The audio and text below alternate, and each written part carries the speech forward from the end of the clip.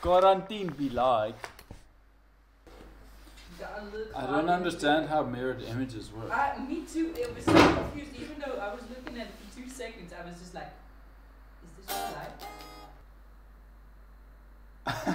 life?"